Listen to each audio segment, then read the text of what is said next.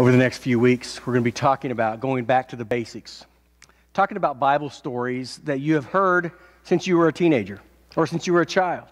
Stories that you would probably be able to articulate and you could talk about and you would know a lot of facts about. But sometimes the very basic Bible stories that we know are the things that we just gloss on by. It's good for a child or it's good for a teenager, but it's not good for a mature believer of Jesus Christ. But I say that is not true. I say that the Bible stories that God has given to us in the Word of God are profitable for us. And some of the most easy stories to talk about are some of the most deep, intellectual, thought provoking things that we could recall. So today we're going to talk about David and David and Goliath. David, a 13 year old boy, as a shepherd out on the hill, he had seven brothers, all older than him, stronger than him. The dad liked them more than he liked this little runt by the name of David. Saul was the king. Saul was the first king of Israel. And God rejected the calling upon Saul's life because of Saul's impatience and arrogance. So, in the midst of that, there was a prophet a man of God by the name of Samuel. And the prophet by the name of Samuel was talking to God, and God rejected Saul's anointing. And God told the prophet Samuel, He said, I want you to go, I want you to go down to Jesse's house. And that's David's dad. And I want you to go down to Jesse's house, and I want you to anoint the very next king of Israel. So in 1 Samuel chapter 16, the prophet, the man of God is going against what Saul said and following after what God has communicated to him. So he goes down to Jesse's house and, and he stands before Jesse and he, he says, Jesse, I'm here to uh, meet your kids. I want to meet all your sons. And Jesse says, Well, I have eight boys. And he said, I would like to see each and every one of them so Jesse starts calling his boys together, and he starts with his oldest boy, and his oldest boy, his name is Eliab. And Eliab looked just like Saul. He was tall and large and a robust man, a good looking guy. And by appearance sake, that this would be the very next king of Israel. Eliab came, walks in, stands before Saul. I'm sorry, stands before Samuel and says this. Said Samuel said, This must be the next king. This must be the Lord's anointing. And God in his spirit said, No, I reject him. And I'm sure Samuel was thinking, why? I mean, this guy is large, he's robust, he looks the part, he looks like he could, he could uh, be the king, he looks like he could command an army. And Samuel said, No, not him. So the next son comes in. No, I reject him as well all down the line. He had seven men stand before Samuel, and Samuel says, I reject all of them. Samuel said, You must have another son because God would not have had me to come down to your house to anoint the next king if you only had seven. And God told me I had to do this. And Jesse said, Well, I do have my youngest son. And the Bible calls him the young man in, in, in, in, terminology. It could be like the runt of the litter, a smaller boy, somebody that's not the largest or not the best. And Samuel said, I want you to go get him. I want you to, we will not set until the next king of Israel stands before us. So they sent after him out, on the, out being a shepherd, and they brought him in. And as soon as Samuel saw him, he anointed him with oil. that ran from his head down to his shoulders, and they bowed down. And they said, This, this is the very next king of Israel. Chapter 16, this young man by the name of, thir- by the name of David, that's 13 years old, is anointed with the power of God.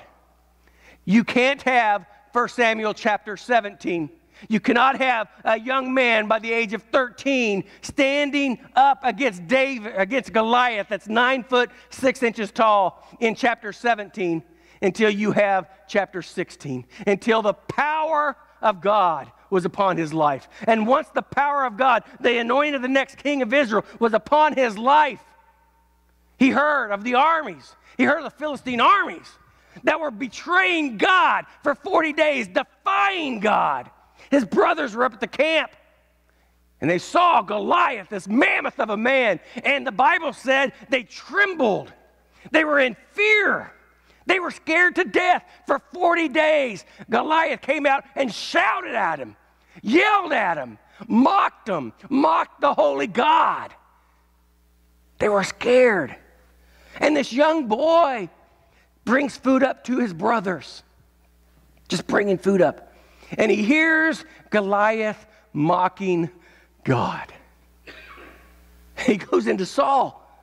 he says, Saul, why, why are you allowing this uncircumcised Philistine to mock God? He said, he said, I'm scared. I, I can't go. And David said, I'll do it. And Saul looked at him and said, You're yet a boy. And this is a warrior from his youth. You have no chance. And David says, Listen, dude. Well, I've been out shepherding my, my dad's flock. A lion came at me, and I killed a lion. A bear came out, and I killed a bear. I am not afraid of any obstacle. I'm not afraid of them, and I'm surely not afraid of Goliath because God is on my side.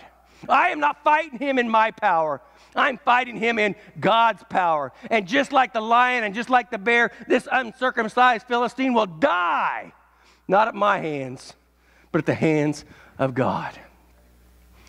You know the story. Saul said, Well, I'm scared, but if that's what you want to do, well, you need to put on my armor. So he tries to put on this armor, and he can't even lift up the sword. He can't lift up the shield. He can't walk in the armor. And David said, I can't, how can I even do this? So he refuses the armor of Saul. And Saul looked at him, and I'm sure he said, dude, you are going to kill us all. But this is the 40th day. The 40th day, the Philistine army is going to rush us. This is the last day that we have. And they have made a decree if one man stands against Goliath, the winner takes all. So if that's what you want to do, we don't have a chance. Go ahead. The Bible says that when David walks to the valley, Goliath looked at him and mocked at him and said, You're sending yet a boy? A boy? Am I a dog that you would send a boy? And David looked at him, eyes intently. He leaned down and picked up five smooth stones, put it in a sling, and he ran to face Goliath. The armies behind him were trembling. They were scared to stand up. They were scared. But a young man that had the power of God in his life said, I am not afraid. I will go in battle and fight. They ran down face to face. He takes one of those smooth stones and puts it in a sling, and he slings it and he lets it go. And it hits Goliath right in the forehead. It doesn't kill him instantaneously, it knocks him out. David rushes up to the body of Goliath and kills him. And he doesn't just kill him. Sounds a little gross, but there's a point. He takes his own sword, pulls his head, cuts off his head, raises his head up. And when the army of Israel saw that Goliath had been dead, they rushed the Philistine army and they had complete victory because of a 13 year old boy that has the power of God upon his life could change a nation, could change the direction, could have power. A story, a story that took place. But how do we take that story? And what are some principles that we could take out of two chapters? 1 Samuel chapter 16 and 1 Samuel chapter 17 and apply some things, very simple things within our life that I believe is very important. The first one is God evaluates us by our hearts. God evaluates us by our hearts. In verse 7 of chapter 16, but the Lord said to Samuel, Do not look at his appearance or at his physical stature, because I have refused him.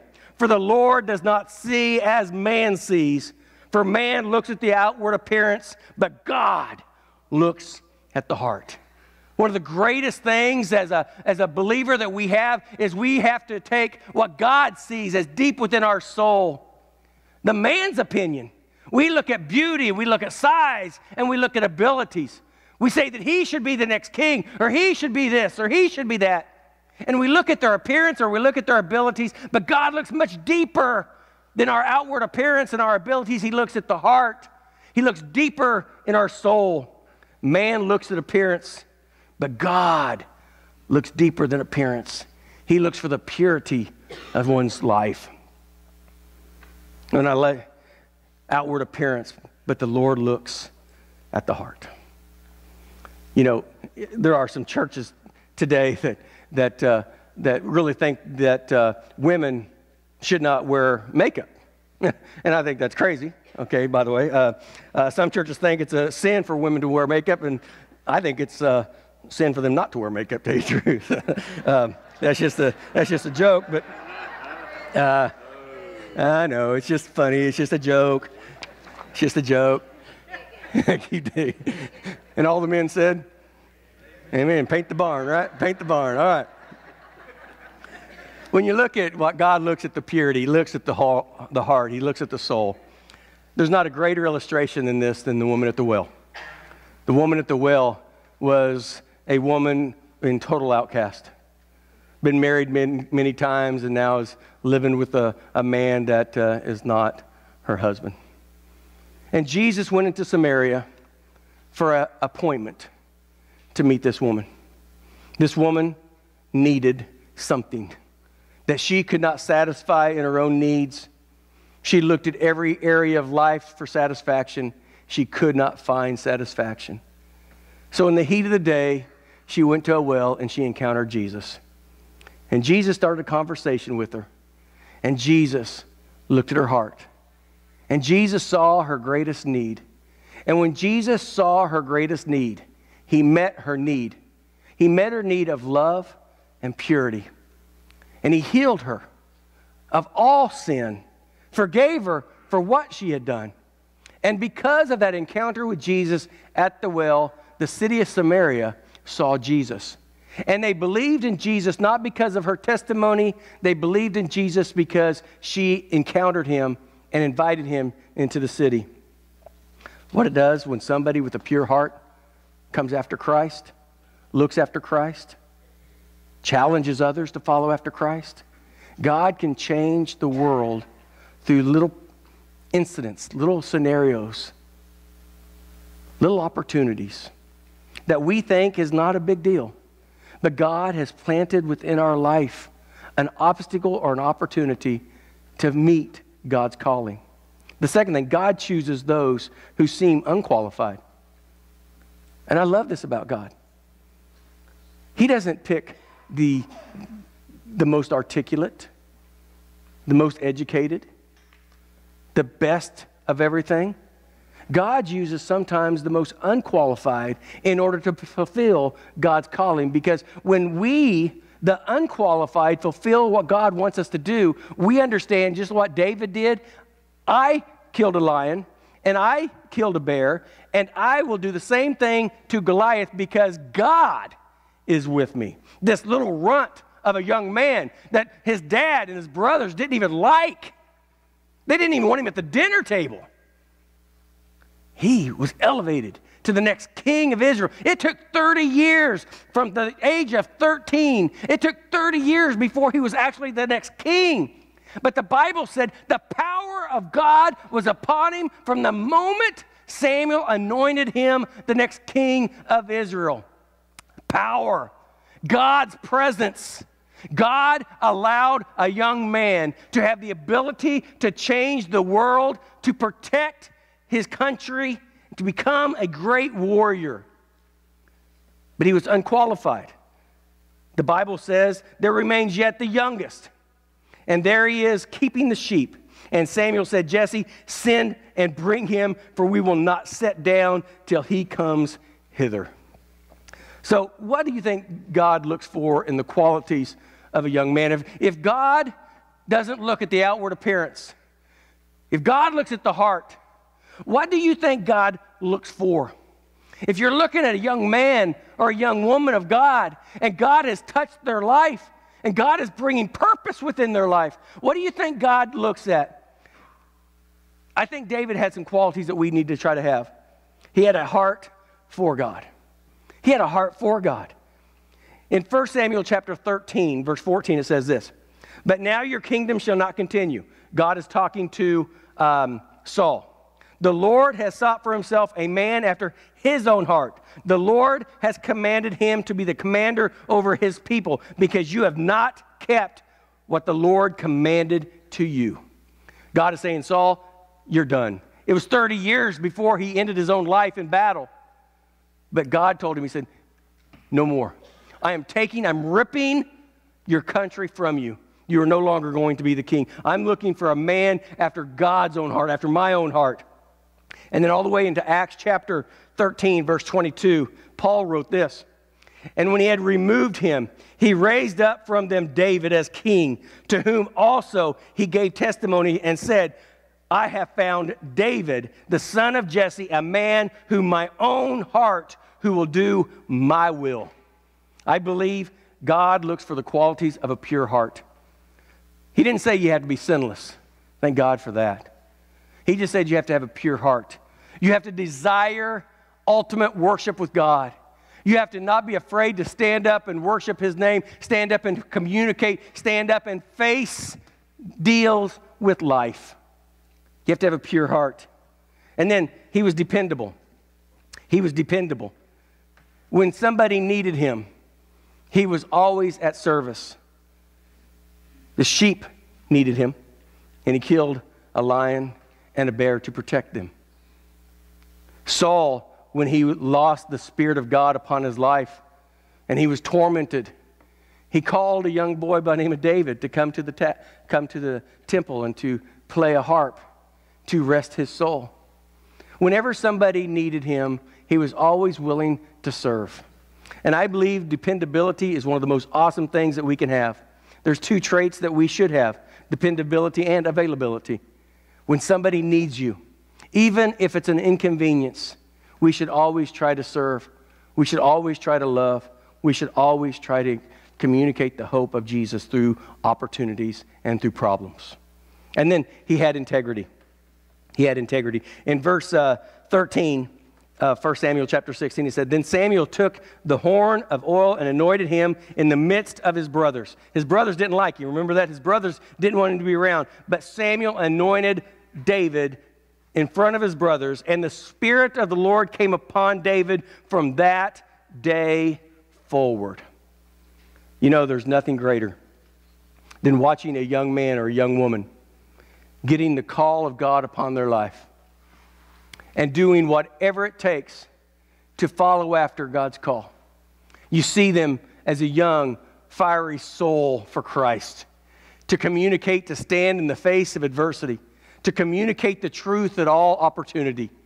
They have the power of God upon their life. It is awesome to see them grow up. It's awesome to see them start to minister. It's awesome to see what their life is all about. 20 or 30 years down the road.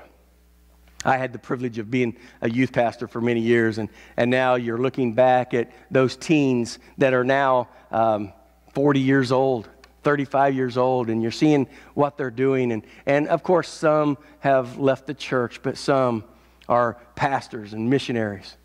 You see those that you went to camp with and they gave their life to Christ, and you see what they're doing. It brings a joy to your soul when you see what God has done with individuals' lives that have given their life to Christ.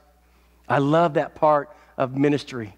When a young man gets to call upon God and God empowers him, gives to him the Spirit, gives to him the ability to, sh- to, to move mountains for him. I think that's what the qualities that God is looking for. He sees deep in your soul, He knows what you can do. He empowers us to do certain things. But here's what God does God prepares us by giving us difficult jobs. He does. He, he, he gives us very difficult jobs. Uh, it, it would be nice if we could look at this story and say, well, this young boy just went down and he killed Goliath. Well, it didn't happen that way. There was a preparation stage to get to where David had the ability to do that. Number one, he had to be submissive to his father, he had to be submissive to God. And he had a lion, and he had a bear, and he defeated giants within his life. And he faced an obstacle that everybody else was in fear and trembling. They were scared to death. But David had the power of God. And when we have the power of God within our life, we can do great and mighty things, awesome things. But we cannot take the philosophy of our world and the fear of our insecurities and look at our inadequacies and say, if I'm inadequate in this area, surely I can't do anything for God. We have to understand that if we are a believer in Jesus Christ and we gave our life to Christ, the Holy Spirit of God lives within our soul. We have the power, we have the ability. David did pick up those five rocks. David did put it in a sling. David did turn it. But when he let it go, God defeated Goliath. And in our problems, in our Goliaths, and our issues, we may have obstacles along the way. God may be training us and moving us to do great and mighty things, but we, just like David, we have to get on our knees before God, and we know that we are going to fight, but we're going to fight in Christ's name. That God is going to do great things for us. The giant. David could call his, his giant. He could see his giant, nine foot six inch, man. David was a 13 year old boy. Everybody looked at that battle. Impossibility. Not going to happen. And if we look at that, we would agree with that. Impossibility. The difference is in chapter 16. He had the power of God upon his life. And when we have the power of God upon our life, we can name our giants. You can name your giants. I can name my giants in life. The giants that we face on a daily basis. The giants that make us fearful. The giants that we tremble. The giants that we stick our head in the sand and hope they go away. Those things that captivate us, that hold us in bondage. Those things that we've struggled with for years are the giants within our life that we have no idea how to defeat. They scare us. What's the difference? Is David, when he saw his giant, he knew his power. He knew God was on his side. He ran to meet his giant. He didn't hide from it, stick his head in the sand. He didn't have somebody else fight that battle for him. He knew it was his, and he knew God was on his side. Goliath, any giant obstacle in your pathway of blessing is your giant. Any obstacle that's between you and God's blessing and God's power and His will for your life is a giant. And we have to name that giant we have to have the ability to say, I cannot do what God wants me to do if I allow that giant to captivate me. If I do not have victory over this giant, I'm going to have a deja vu life. I'm going to struggle with this stupid sin, this stupid giant in front of me for the rest of my life, and it's going to be month after month, week after week, year after year of the same old, same old. We get tired of that. God wants more for you than that. God wants us to have victory over our issues of life. So, how do we do that? The first thing I believe, using this illustration, we have to find the battlefront. We have to find the battlefront. In verse 11, when Saul and all of Israel heard these words from the Philistines, they were dismayed and greatly afraid.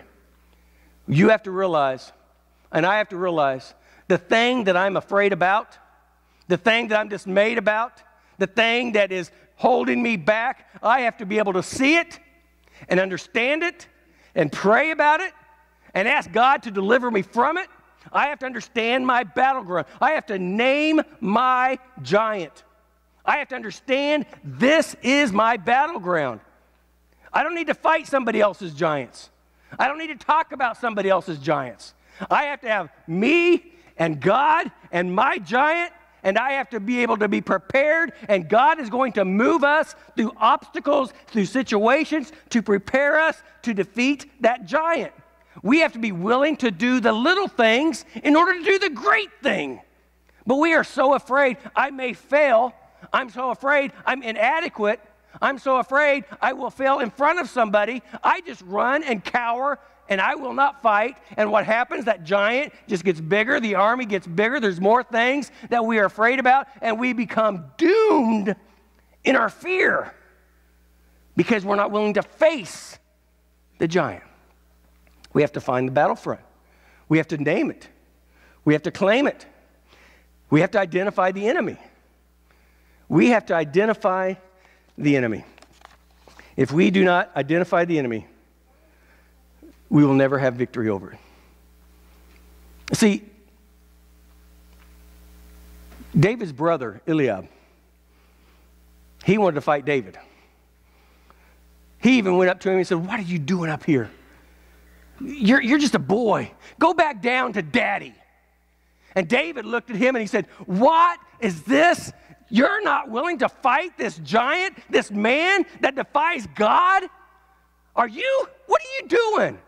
And Eliab says, I know your heart, your heart of insolence.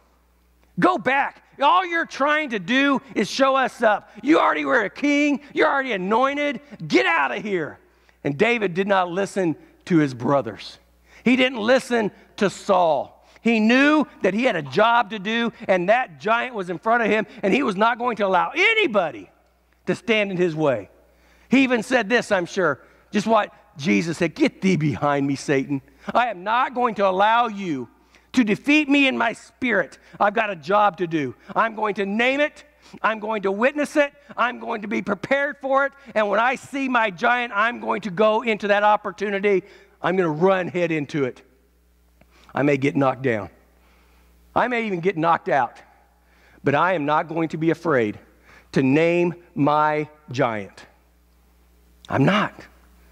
So often, we know it. You can close your eyes and you can make a list of the things that have you bound within your life. You open your eyes, we kind of ignore them. As long as I don't look at it, as long as I don't deal with it, as long as I can hide from it, I don't have to deal with my enemy.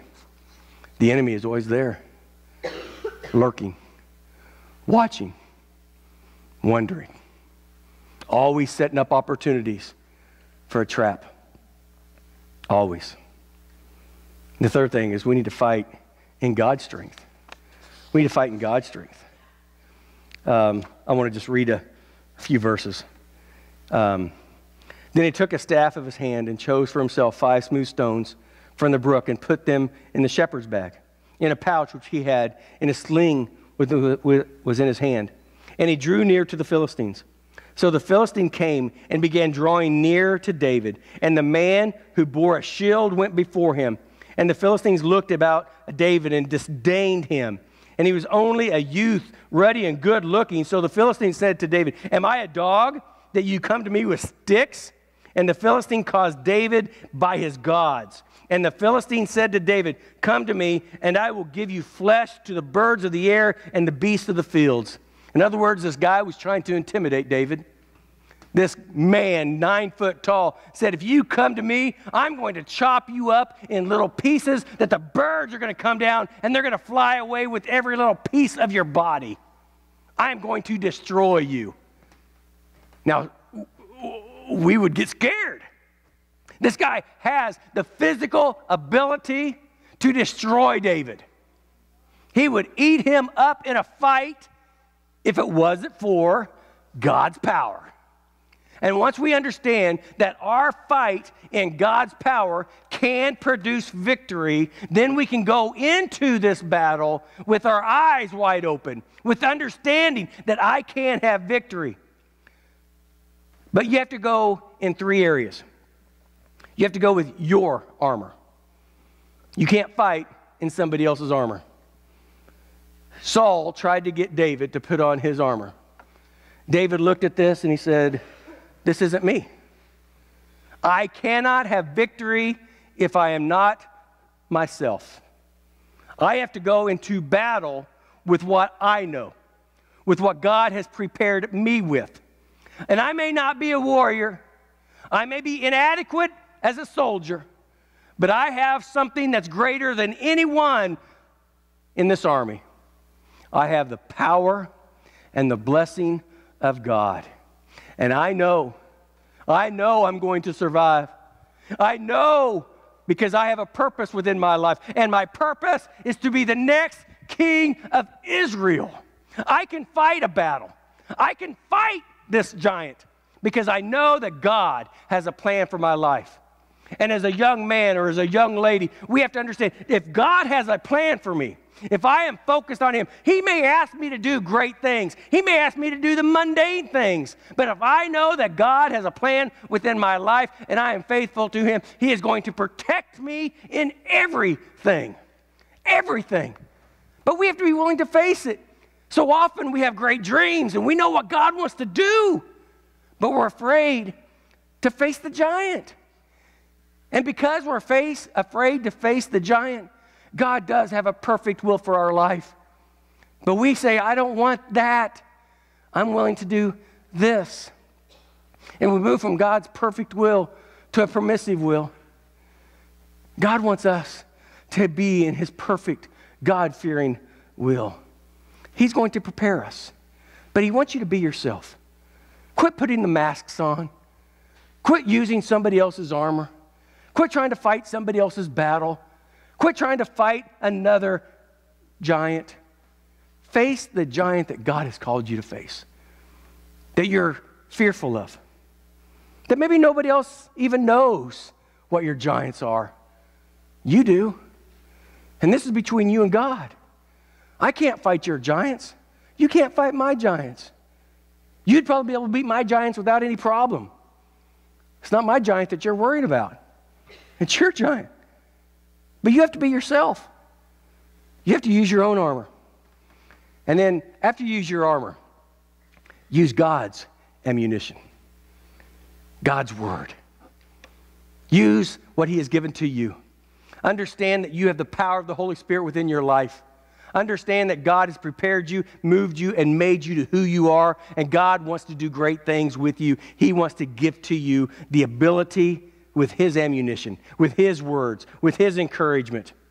He wants to make sure that you are who you need to be. All the way through your life, you can look at this and you can see every problem, every obstacle as a learning time, a point of your life that God is preparing you to be somebody that He wants you to be. We don't have to get mad at God. We don't have to say why. We may not understand everything that God does, and we surely don't, but God loves us. Just like a young boy at the age of 13, he couldn't understand everything that God was doing within his life, but he understand he understood that God gave him power. He understood that he had the power of God within his life and he could do great things. He was not going to allow people to defeat him, obstacles to defeat him. He was going to allow every obstacle to stand up and to make him to who he wanted to be and who God wanted him to be. The last one, and I want you to think about, is we have to finish off the enemy. We have to finish off the enemy. I like what the Bible says. He took those five stones and he put it in a sling and he twirled it and hit Goliath right in the forehead. Goliath passed out. David ran to him as he was dazed before the armies could come in took his own sword and killed Goliath. Here's what we do in our Goliaths, sometimes we have courage. I'm going to quit. No more. I'll never do this again. I will stop. I'm going to come to the altar and I'm going to pray, God, don't let me do this again. I will do anything you tell me to do. Just. And then you walk out the door and we go back doing the exact same thing we did before we walked in. I tried to give it to you, God. I had a desire within my soul. When we get in the face of our giant and we give it to God, we not only daze our giant, you must destroy that giant. You have to allow God the ability to get into your life, to give you that courage, to give you that motivation that I am not going to allow that giant to destroy me. I am not going to allow him to move me. I am not going to allow him to deter me. I am going to understand this is my problem. I am going to face my problem and I'm going to destroy my problem. David and Goliath, a simple story all the way back in 1 Samuel chapter 16 and 17. But it's funny how that same story comes to us today. I was on Right Now Ministries this way, It's our video ministry that we can watch and, and we can learn from. And I was typing all kinds of different things in, trying to get ideas for our, for our sermons for this upcoming week. And you know what I came down to? I went to the kids zone on Right Now Ministries, Adventureland, Right Now Ministries. And I started clicking on characters, and I watched about five or six different kids' movies on Bible characters. And that's where I got the idea you know what? Let's take simple Bible stories that we've all heard, we've all watched, but let's take those Bible stories and apply it. So here's my application for you. We're going to have a song of invitation. The giant that is keeping you from doing what God wants you to do has to be slain. Could God supernaturally slay your giant? Yeah, he could. He could say, gone. But that's not going to make you who God wants you to be. And if you do not face your giant today, you will face him tomorrow. If you do not slay your giant when he is wounded, he will rear his ugly head pretty soon. We have to see it, we have to name it, we have to expose it, we have to destroy it, or that giant will soon be back in your life. Do you guys agree with that? You know your giants. So I'm going to ask you, if you would please, stand to your feet. And I'm going to have a word of prayer. And then we're going to have a song of invitation. Sometimes we have invitations here, and sometimes we don't. But today, when we're talking about the giants of our life, we would be very foolish to think that you have power in yourself to walk out these doors and destroy the giants that have captivated you for many years. Unless you get on your face before God. Unless you say, Lord, I know what my giants are. I talked to you about my giants. I need you to take over. I need you to give me the ability to say, I am done. I want to destroy my giant that's in my life that has had victory over me, and I need to give it to you. You don't need to talk to anyone except for God. And He wants to take your life and just like David, he wants to give you the power and the ability to the focus to name it, identify it, and to conquer it. And ultimately destroy it. Because if you do not destroy it, it will destroy you. And you have the ability, you have the faith, you have the strength, you have the power of God to look dead in the eyes of the giants that are destroying you. And a father that loves you to a point that he wants the best for you. And if you, um, Dad, Dad, I need your help. And just like any dad, stand behind me, son. Let me walk through this one with you. And with God's power, he is going to allow you to face the giants of your life that you have fought over, you've struggled with, and you had fear over for months, years, or your entire life. Give it to God and let God fight your battle with you, for you, and in you. Dear Father,